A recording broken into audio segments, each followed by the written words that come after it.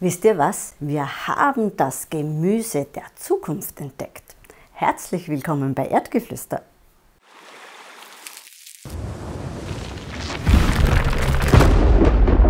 Erdgeflüster. Ja, warum glauben wir, dass wir das Gemüse der Zukunft entdeckt haben? Weil diese Pflanze sehr leicht zu ziehen ist und pro Pflanze kann sie 250 Früchte hervorbringen. Und wie die Pflanze jetzt heißt? Es ist die Chayote. Man nennt sie mit dem wissenschaftlichen Namen auch Sechium edule, ich hoffe, so spricht man es aus. Umgangssprachlich ähm, kennt ihr sie vielleicht unter Gemüsebirne, denn sie ist ja schön grün und hat eine birnenförmige ja, Form. Sie wird in weiten Teilen Amerikas und Südostasien intensiv angebaut. Sie liebt die Wärme und sie besitzt wertvolle Inhaltsstoffe wie zum Beispiel Vitamine, Mineralstoffe, Aminosäuren und Antioxidantien. Obendrein ist sie noch kalorienarm, denn sie hat einen hohen Wassergehalt, wie zum Beispiel die Gurke. Und sie schmeckt auch wie Gurke, Zucchini, ein bisschen vielleicht noch Kohlrabi. Sie ist sehr knackig, saftig und richtig frisch. Ihr müsst nur eigentlich beim Schälen aufpassen, denn unter der Schale ist so ein klebriger Saft und der haftet sehr an der Hand. Bevor ihr die Chayote schält, gebt ein bisschen Öl auf die Handinnenflächen und dann ist es kein Problem. Oder Ihr schält die Chayote unter fließendem Wasser, dann ist es auch kein Problem. Und sie ist so vielseitig in der Küche verwendbar. Man kann sie kochen, dünsten, braten oder roh essen. In einem Salat, wie ihr eben das möchtet. Und von der Pflanze, von der Chayote, kann man eigentlich alles essen. Die Blätter, die Ranken, die Wurzeln und natürlich die Chayote. Und die Chayote hat ja innen einen Kern und sogar den kann man essen. Der schmeckt so richtig nussig. Die Chayote gehört ja eigentlich zu den Kürbisgewächsen und sie ist eine so kräftige Rankpflanze, sie bildet bis zu 12 bis 15 cm lange Ranken. Ja, und wie baut man jetzt so eine Chayote an? Ganz einfach. Man braucht eigentlich nur die Frucht dazu, denn einen Samen gibt es, glaube ich, nicht. Also ich weiß nichts davon. Und ich hole mir die Chayote im März aus dem Keller. Dann lege ich sie in die Küche, da hat sie schön warm. Man kann sie auch äh, finster legen, also sie braucht nicht einmal Licht zum Keimen.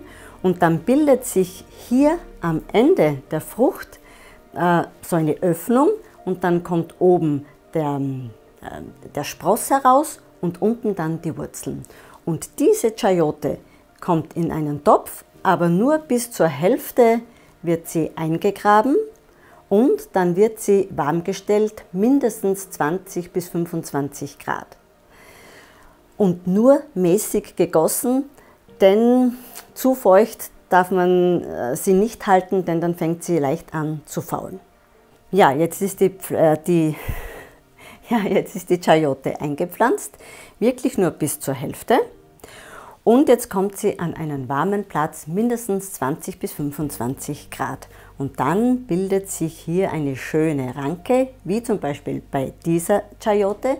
Die habe ich schon vor etlichen Wochen hier eingepflanzt, weil die Chayote in der Küche schon wirklich schöne Triebe gebildet hat. Die könnte ich jetzt hier oben kappen, weil ich kann sie erst Mitte Mai ins Freie setzen, wenn es wirklich schön warm ist und keine Fröste mehr zu erwarten sind. Denn sie sind wirklich sehr wärmeliebend. Wenn ich dann die Chayote Mitte Mai ins Freie pflanze, dann setze ich sie auch nicht tiefer, wie sie hier im Topf gestanden ist. Also die Hälfte schaut eigentlich wieder heraus. Und damit habe ich super Erfahrungen gemacht.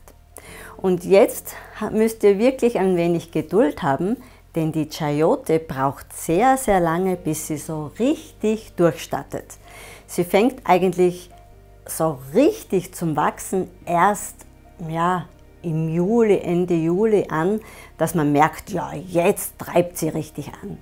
Und äh, Ende August fängt sie erst zu blühen an und dann kommen aber gleich darauf die Früchte. Das geht dann eigentlich so schnell und wenn sich die kleinen Früchte gebildet haben, so Ende August, Anfang September, dann kann man fast beim Wachsen zuschauen. Das ist echt enorm. Die wachsen dann richtig zügig und schnell und hups, man kann sie schon essen. Ich habe ja schon gesagt, dass die Chayote eine starke Rankpflanze ist.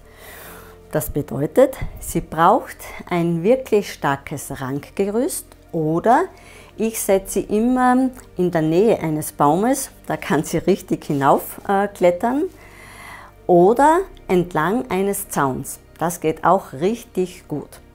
Aber wenn ihr ein Rankgerüst baut, dann muss es wirklich stabil sein denn es kommen so viele Früchte, dass, sie, dass das Rankgerüst die Früchte wirklich auch tragen kann.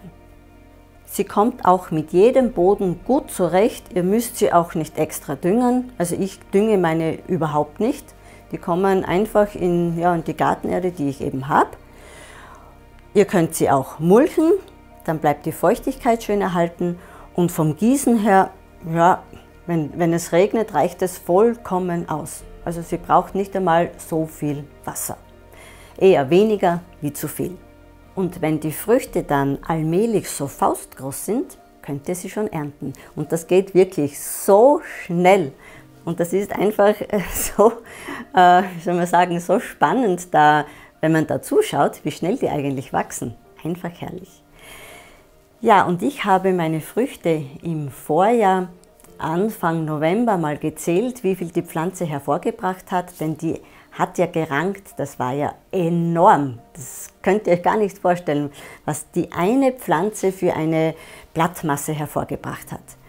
Anfang November habe ich mal 120 Früchte gezählt und Ende November, Anfang Dezember hat die eine Pflanze bis zu 250 Früchte hervorgebracht. Das war einfach der Wahnsinn.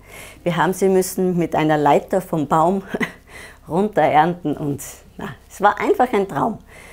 Es hat wahrscheinlich das Wetter optimal gepasst, denn so viele Früchte habe ich überhaupt noch nie gehabt.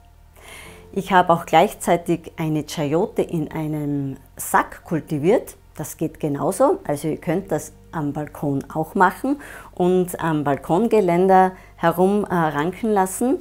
In dem Sack, also die Pflanze im Sack hat ungefähr so 40 Früchte hervorgebracht. Und von den Chayoten gibt es ja mehrere Sorten. Es gibt eine stachelige Art und ich muss eine stachelige Sorte und ich muss sagen, die biegst enorm. Also die sind wirklich nicht gut zu schälen. Und dann gibt es auch welche, die total behaart sind, durch und durch mit, mit Stacheln voll. Ja, und wie überwintert man jetzt so eine Chayote? Ich gebe meine in den tiefen Keller. Da ist es, ja, man soll sie auch ganz dunkel lagern und so zwischen 9 und 11 Grad. Und die Luftfeuchtigkeit sollte eher erhöht sein. Jetzt haben wir Mitte April und ich habe noch immer Chayoten im Keller. Und jetzt werden wir mal eine aufschneiden und schauen, ob die überhaupt noch genießbar sind. Denn von der Ernte bis jetzt sind eigentlich fünf Monate vergangen. Die Chayoten ähm, halten auch einige Wochen im Kühlschrank, wenn ihr keinen Keller habt.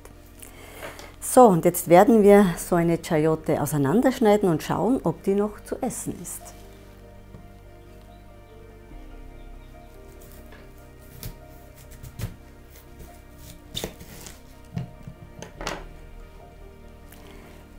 Sie schaut eigentlich noch richtig schön aus. Nur der Kern, der wird wahrscheinlich schon zu hart sein. Ja, den würde ich nicht mehr essen, aber sonst kann man die Chayote noch essen. Und sie riecht noch so richtig frisch, knackig und frisch. Und das ist ja ein Wahnsinn. Die Chayote, jetzt muss man sich das einmal vorstellen, ich habe sie eigentlich ein halbes Jahr zu essen. Und genau in dieser Zeit, wo es draußen eigentlich nicht viel zu ernten gibt. Und das ist ja richtig toll. Und ich kann mir echt vorstellen, dass diese Frucht die Frucht der Zukunft wird. Wenn ihr jetzt Lust bekommen habt, eine Chayote zu pflanzen, Ihr bekommt sie vielleicht in Asialäden oder schaut einmal auf Pflanzenmärkten. Vielleicht hat schon irgendjemand äh, diese Frucht angebaut und er verkauft sie. Bitte probiert sie aus. Sie ist wirklich so, wie soll man sagen, so spannend und so schön und so gut und so lecker und so einfach in der Kultur. Einfach herrlich. Und tschüss, bis zum nächsten Mal.